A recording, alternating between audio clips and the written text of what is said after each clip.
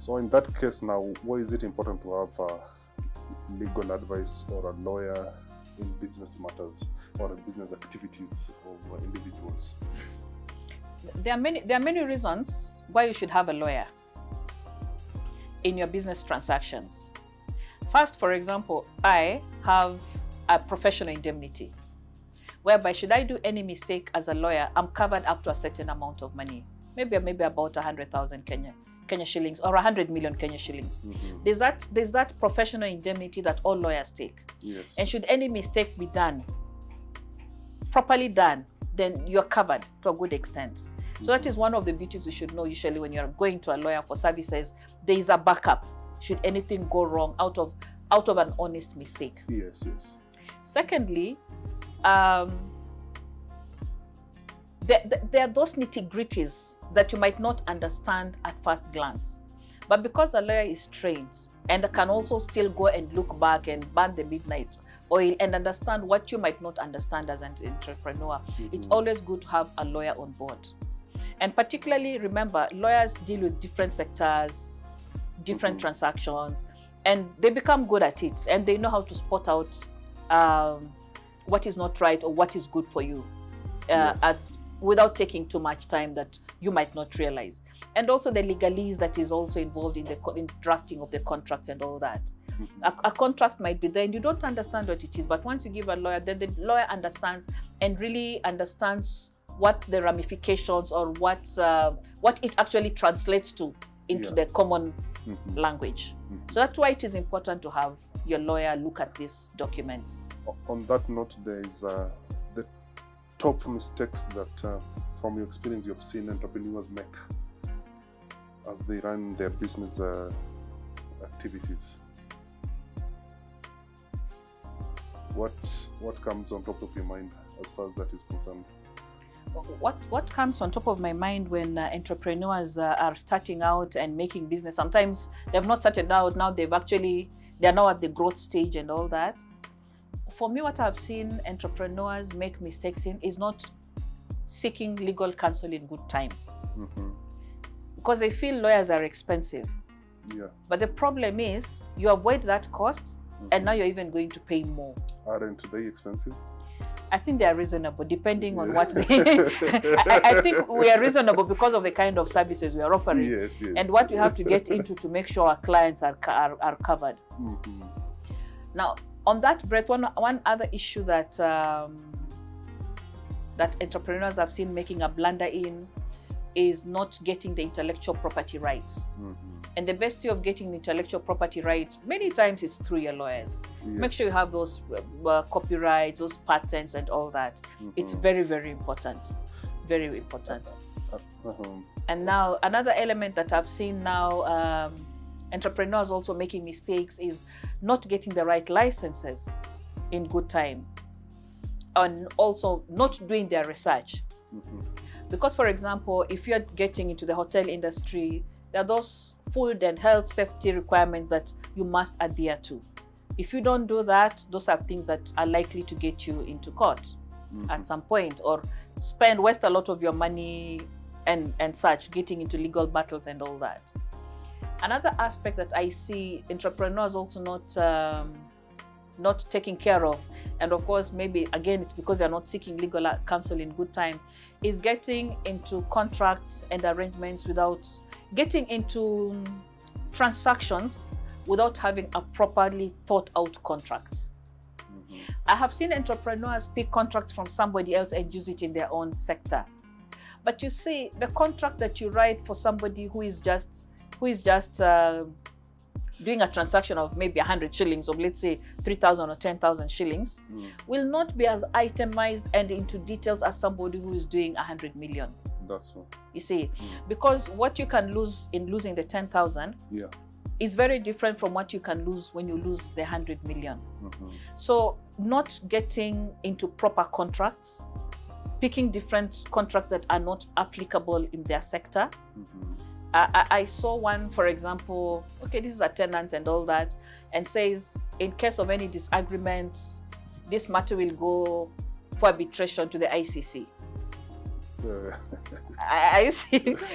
and you see now here is Yeah. a rent maybe of 30,000, 50,000. yeah, ICC, before you even get your flights there and all that, you're talking of millions sometimes. yes. So sometimes just that that picking things and trying to to do things yourself. I, I, I believe has really cost entrepreneurs a lot in the process. Yeah. So that's seeking legal legal advice, not doing enough research, not paying out the legal things that are required. For example, just paying out your licenses, seeing exactly what should be done.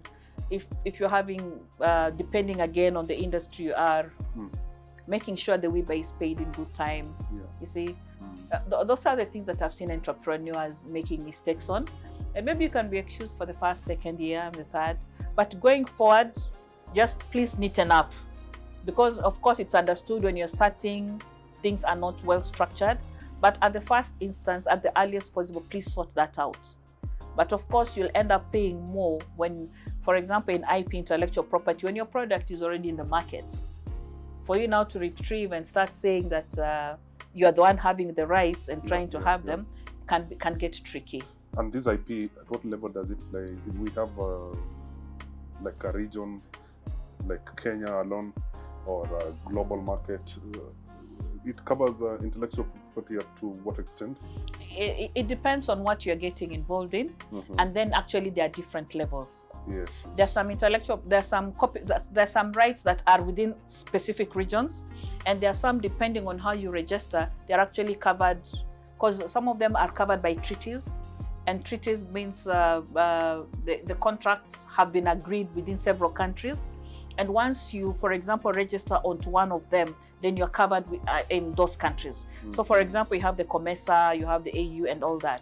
Yeah. So depending on the one that you get into and how it is done, because it's a bit complicated, and that's why you'll need a lawyer in that particular area. yeah, Then yeah. you'll know exactly where you're covered and to Mhm. what extent. Mhm. Yes.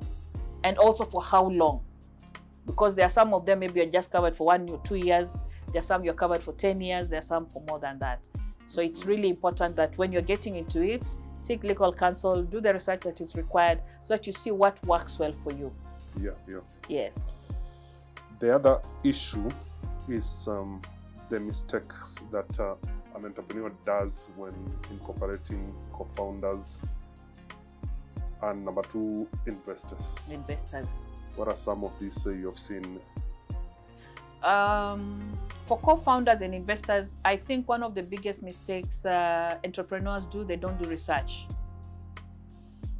They don't do research to find out um, to find out the to find out the to find out more about their investors, the potential investors, and the and and the and the patterns, and uh, the patterns and the culture of those investors. Because it's very important that when you're dealing with an investor, you should know how that investor works and uh, how that investor works. Because some of these investors are tricky. Some of them have not even really begun anything. We know of some investors who have uh, who have shortchanged the entrepreneurs because the, the integrity does not matter with them. Then we know there are some investors whereby integrity is very, very important. So it's very important that whenever you're dealing with investors, always do a background check. We have we have a lot on uh, on the internet that you can deal with. You, you can you can research on and find out about the investors. But also apart from that, there are those people that the investors have worked with. How have they worked with the people that they have invested in? Because there are some who are very rough, there are some who are very gentle, there are some who will hold you and help you grow. So it's very, very important to do a background check on the investors. One, you can go onto the net, that will be great, easy, you'll get so much. Another, see who has worked with these investors and how has it been. Mm-hmm. Take your time to find out about these investors. Yeah, yeah. On the element of co-founders, also do a background check. Find out are these credentials really the, what they are talking about. I have seen some people presenting their papers and all that, but they cannot deliver. So do a background check on the co-founders you are working with. One thing that again many times people don't realize that when it comes to co-founders, at some point maybe you may need to now go and borrow from the bank. Now, when you are in partnership or these are shareholders on your company, Yeah. and these people are badly rated at this at the CRB Mhm. or they have a criminal record here and there, you find you cannot move. That's true. You find you cannot move. So it's always good to do a background check on your co-founders and be very open with each other. Mm. If any of you has had a hitch at some point, it's good to know from the very beginning Yeah, and see yeah. how to deal with it Mm. so that you don't get a shock whereby now as a company there you are now going to look for a 100 million and you find there's this guy 10 million this co-founder never paid Yeah, yeah. yes and has been blacklisted and all that so those are some of the things that is it's, it's important that you find out about your co-founder. Their personalities also. What kind of how do they relate with people? Because again it's not enough for you to just do your business well. But what are your priorities? How do you deal with clients? How do you deal with staff? How do you deal with suppliers you know? Yeah. so it's one thing to pay money but what what language?